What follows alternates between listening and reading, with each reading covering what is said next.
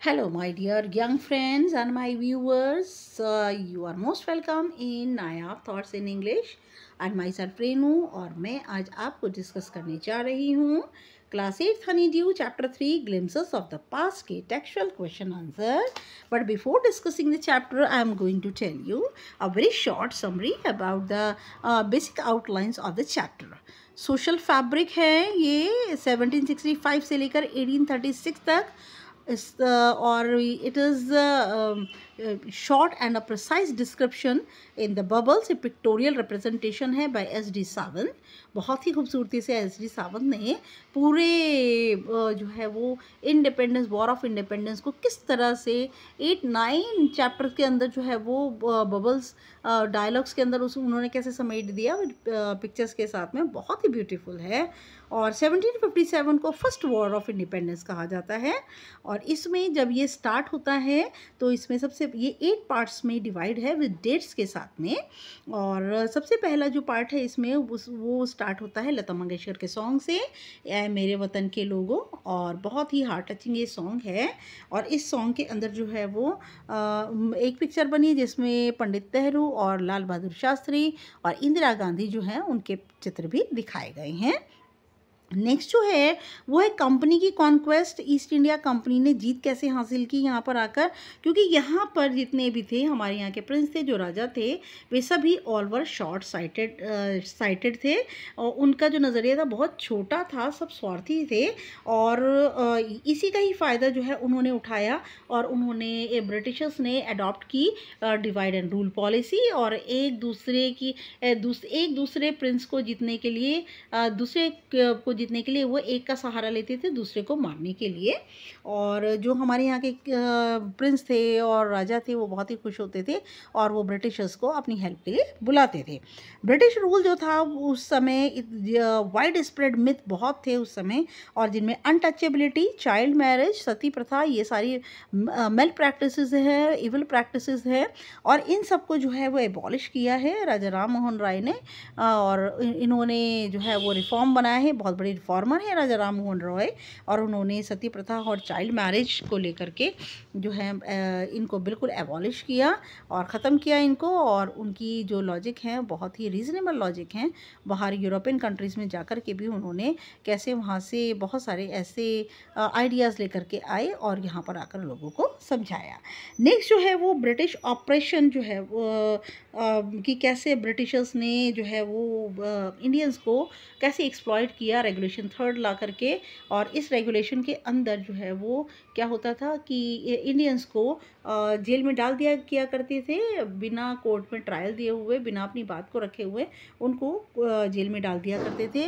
और इसी तरह से उन्होंने यहाँ की कॉटेज इंडस्ट्रीज़ को बिल्कुल बर्बाद कर दिया। जितने भी आर्टिजन्स थे, उन सब के उनको बेकार कर दिया, उनके थम को काट दिया और जो भी माल जो है वो इंग्लैंड से आता था, उसके ऊपर कोई भी ड्यूटी नहीं लगती थी। और जो यहाँ से इंडिया का माल जाता था उस पर हैवी ड्यूटी जो है वो लगती थी, इसीलिए वो माल जो है यहाँ से जाता ही नहीं था।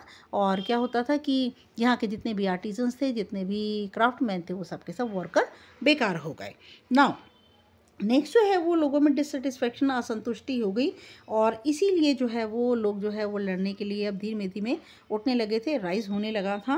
नेक्स्ट जो है वो दस पार्क दास पार्क के अंदर ब्राह्मण हैं जो बेसिकली और उनको पता चलता है, उनकी रिलीजियस फीलिंग जो है, वो बहुत ही हर्ट होती है। जब उन्हें ये पता चलता है कि जिस बुलेट को वो अपने दांतों से तोड़ करके निकालते हैं चलाते हैं, उसके अंदर का और पिक का जो फैट है वो लगा होता है। और नेक्स्ट जो है, रिवोल्ट 1857 का रिवोल्ट जो है वो स्टार्ट हो गया था यहीं से ही। और लास्ट जो है, the fight for freedom freedom के लिए जो फाइट है, उसके अंदर बहुत सारे फ्रीडम फाइटर्स हैं। टीपू सुल्तान पहले ही जो है वो शहीद हो चुके थे और मार्टियर जो है वो माटियरडम में उनका नाम आता है। और नाना पेशवा जो है, हजर बेगम हज़रत पहल है और बहुत सारे ऐसे हैं जो कि जिन्होंने इस फ्रीडम फाइट फाइ, फाइटिंग में जो है पार्टिसिपेट किया। ना question number one textual question answer comprehension check page forty five look at picture one and recall the opening lines of the original song in Hindi इस picture one को देख करके याद कीजिए वो कौन सी ओरिजिनल हिंदी के गाने की लाइनें हैं। Who is the singer singer कौन है? Who else do you see in the picture इस पिक्चर में आपको और कौन दिखाई देता है। Opening lines of the original song in Hindi यार। ओपनिंग लाइन्स जो है ओरिजिनल सॉन्ग की हिंदी में वो है ए मेरे वतन के लोगों, तुम खूब लगा लो नारा। ये शुभ दिन है हम सबका। लहरा लो तिरंगा प्यारा पर मत भूलो सीमा पर वीरों ने है प्राण गंवाए। This melodious and heart touching song sung by Lata Mangeshkar ये जो बहुत ही मीठा और दिल को छू लेने वाला जो गाना है वो लता मंगेशकर ने गाया है। We can see Pandit Nehru Lal Bahadur Shastri. हम देख सकते हैं पंडित नेहरू को लाल बहादुर शास्त्री को और इंदिरा गांधी को। इन पिक्चर के अंदर हम देख सकते हैं। Now next is picture 2, what you, uh, what do you understand by company superior weapons? Picture two के अंदर कंपनी का ईस्ट इंडिया कंपनी का सर्वश्रेष्ठ जो शस्त्र है वो क्या है? पिक्चर टू के अंदर ईस्ट इंडिया कंपनी का जो सर्वश्रेष्ठ वेपन है वो है डिवाइड एंड रूल कि लोगों को विभाजित करो और उनके ऊपर उनके दिल और दिमाग में को विभाजित करो और उनके ऊपर रूल करो। सुपरमैसी वर्चस्व उन्होंने अपना फैला दिया था और गन्स जो थी वो यहाँ पर लेकर के आए थे। Now who is an artisan artisan कौन है? Why do you think the artisan suffered picture three में आप क्यों सोचते हैं कि जो आर्टिजन्स थे, कलाकार थे, जितने भी स्किलफुल वर्कर थे, वो उन्होंने दुख उठाया। An artisan was a skillful worker और craftsman in particular trade और जित आर्टिजन जो हैं, वो बहुत ही कुशल कलाकार होते हैं, काम करने वाले होते हैं, किसी एक व्यवसाय के अंदर। आई थॉट दे सफर्ड मुझे, मैं सोचती हूँ कि उन्होंने परेशानी उठाई because the goods produced by them क्योंकि जो भी माल उनके द्वारा बनाया जाता lost demand in the Indian market उसकी जो मांग थी, भारतीय बाज़ार में बिल्कुल ख़त्म हो चुकी थी, क्योंकि भारतीय बाज़ार में जो था इंग्लैंड से आने वाला माल बिकता था। ना which picture according to you reveals the first spark of the fire of revolt और कौन सी जो तस्वीर है वो आप आ, कौन सी जो है तस्वीर आपको बताती है कि पहली चिंगारी विद्रोह की के आग की जो पनपी थी वो किसमें है? अकॉर्डिंग टू मी मेरे अनुसार picture number seven picture number seven जो है जो पार्ट नंबर सेवन है रिवील्स द फ़र्स्ट स्पार्क जिसके अंदर पहली चिंगारी पहले विद्रोह की दिखती है। Working with the text page number forty five Uh, page number 45 for answer the following questions. Number 1. Do you think the Indian princes were short-sighted in their approach to the events of 1757? और क्या आपको लगता है कि जो Indian princess हैं, वो सब के सब छोटे नज़रिए वाले हैं? और इसी, ये जितने भी इवेंट्स हैं 1757 के इवेंट्स हैं yes the Indian princes were short sighted हाँ उनका नज़रिया, भारतीय राजाओं का नज़रिया, राजकुमारों का नज़रिया बहुत छोटा था। दे वर नॉट प्रूडेंट वे दूरदर्शी नहीं थे। इसीलिए अंग्रेज़ों की जो चालें थी, उन्हें समझ नहीं पाए। They fought against each other वे एक दूसरे के विरुद्ध लड़ते with the help of British British की सहायता लेकर दस दे बिकेम वर्चुअल रूलर्स और इस तरह से जो ब्रिटिशर्स थे, वो इनडायरेक्टली रूलर्स वहाँ के बनने लगे थे। Number two how did East India Company subdue the Indian prince और किस तरह से उन्होंने सबड्यू कर लिया, उनको पूरी तरह से काबू कर लिया भारतीय राजकुमारों को। The East India Company expanded their rule in India to promote their trade East India Company ने अपने राज्य को बढ़ा लिया भारत में और अपने एक व्यवसाय को प्रमोट किया, आगे बढ़ाया। They had one Indian prince to defeat and finish the other वह एक भारतीय राजकुमार की को हराने के लिए दूसरे की सहायता लेते थे और ख़त्म कर देते थे। Slowly they took the power धीरे धीरे उन्होंने सारी ताकत ले लिया एंड मेड इंडिया स्लेव और भारत को गुलाम बना लिया। Quote the words use by Ram Mohan Roy to say that if religion teaches the same principles वो शब्द आप बताएँ, जो कि राजा राम मोहन रॉय ने बताया कि हर एक धर्म एक ही सिद्धांत को बताता है। The following words spoken by Ram Mohan Roy to his wife ये नीचे दिए हुए शब्द राम मोहन रॉय ने अपनी पत्नी से कहे थे। He said that every religion teaches the same principle उन्होंने बताया कि हर एक धर्म एक ही सिद्धांत को सिखाता है। Cows are of different colours गायें अलग अलग रंग की होती हैं but the colour of their milk is the same लेकिन उनके दूध का रंग एक ही होता है। Different teachers have different opinions अलग अलग अध्यापकों के अलग अलग विचार होते हैं but the essence of every religion is the same लेकिन हर एक धर्म का जो सार है, वो एक ही है। Number four in what ways did the British officers exploit Indians किस तरह से ब्रिटिश के जो ऑफिसर थे, वो भारतीयों को का शोषण करते थे? The British exploited Indian in many ways British ने भारतीयों को बहुत तरह से उनका शोषण किया। दे पास रेगुलेशन थर्ड उन्होंने थर्ड रेगुलेशन कानून पास किया। Under which an Indian could be put behind bars और इसके अंतर्गत भारतीयों को जेल में डाला जा सकता था। Without a trial in a court बिना कोर्ट में अपनी बात को रखे हुए there was at least was least custom duty on the goods manufactured in England और इंग्लैंड से में बनाए जाने वाले वाले माल के ऊपर भारत आने पर बहुत ही कम ना के बराबर ड्यूटी होती थी।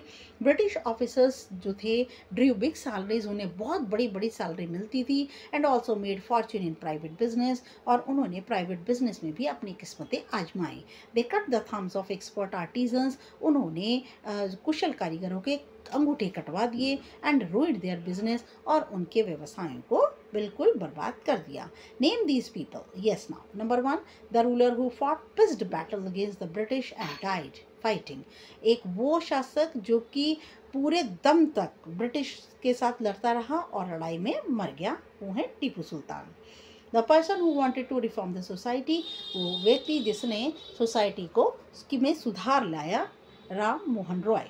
The person who recommended the introduction of English education in India और वो व्यक्ति जिसने इंग्लिश की शिक्षा को भारत में परिचित कराया लॉर्ड मैकॉले हालाँकि इसके बहुत बड़े, बुरे प्रभाव आज भी देखने को मिलते हैं। Two popular leaders who led the revolt आप इसमें किसी का भी नाम दे सकते हैं। दो बहुत ही प्रसिद्ध लीडर्स जिन्होंने विद्रोह में जो है वो हिस्सा लिया। टीपू सुल्तान हैं, बहुत सारे आप ले सकते हैं। नाना साहिब पेशवा, कुंवर सिंह, बेगम हज़रत महल। Mention the following. Two examples of social practices prevailing then. दो सामाजिक बुराइयाँ जो उस समय प्रचलित थी. अनटचेबिलिटी छुआछूत एंड चाइल्ड मैरिज और बच्चों की छोटे छोटे बच्चों की शादियाँ सती प्रथा ले सकते हैं, आप और भी ले सकते हैं। Two oppressive policies of these British दो ऐसी पॉलिसीज़ जो ब्रिटिश की जिन्होंने पूरी तरह से शोषण कर लिया था. Import in India tax free जो भी माल भारत के अंदर आता था, उसके अंदर कोई टैक्स नहीं था। They spoiled Indian cottage industries और उन्होंने इन्होंने जितने भी घरेलू जो व्यवसाय थे, उन सबको बर्बाद कर दिया था। Two ways in which common people suffered. किस दो तरीकों से सामान्य लोग जो है वो दुख उठा रहे थे?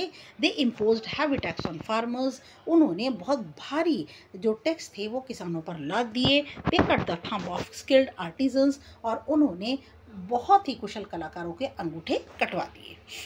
Four reasons for the discontent that led to led to the 1857 war of independence चार कारण क्या थे असंतुष्टि के? जिन्होंने जन्म दिया 1857 स्वतंत्रता के आ, जो है वो इंडिपेंडेंस स्वतंत्रता के युद्ध को बढ़ावा दिया। वो कौन से चार कारण थे? Santhals lost their land Santhal नाम की जातियों ने अपनी ज़मीनें खो दी। अंडर न्यू रूल नए रूल के अंतर्गत दे बिकेम डेस्पिरेट वे बहुत ही निराश हो गए। दे रिवोल्टेड और तब उन्होंने विद्रोह किया। इन इंग्लिश आर्मी, अंग्रेज़ों की आर्मी में, the Indian sepoys were paid less Indian जो सिपाही थे, उनको बहुत ही कम पैसा दिया जाता देन इंग्लिश सोल्जर्स बजा की अंग्रेज़ सोल्जर्स की तुलना में when they came to in to know और जैसे ही भारतीय सिपाहियों को पता चला दे गोट गॉट एंग्री वे नाराज़ हुए एंड डिससेटिस्फाइड और असंतुष्ट हुए। The Brahmins got angry when they came to know ब्राह्मण सिपाही जो थे, वो बहुत ज़्यादा नाराज़ हुए जब उन्हें पता लगा that the bullets they had to bite कि वो बुलेट जिसे वो दांतों से काट कर निकाला करते हैं content cow and pig fat उसमें गाय और सुअर की चर्बी होती है। मैनी लैंडलॉर्ड्स वर डेस्पिरेट बहुत सारे ज़मीन के जो मालिक थे, वो निराश हो गए because the British policies snatch their land क्योंकि ब्रिटिश की बहुत सारी नीतियों ने उनकी ज़मीनों को छीन लिया एंड पावर और उनकी ताकतों को छीन लिया। Now yes now thanks for watching and please like and subscribe my channel and thank you for watching. Uh, it is my humble request कि मुझे like भी कीजिए subscribe कीजिए share कीजिए और साथ साथ में uh, मेरे चैनल में मेरी जो वीडियोस हैं उनमें कमेंट भी करिए जिससे मुझे पता चले कि मेरी टीचिंग कैसी चल रही है ताकि मैं अपनी टीचिंग को और ज़्यादा इम्प्रूव कर सकूँ। एंड नेक्स्ट वीडियो तक के लिए गुड बाय गुड लक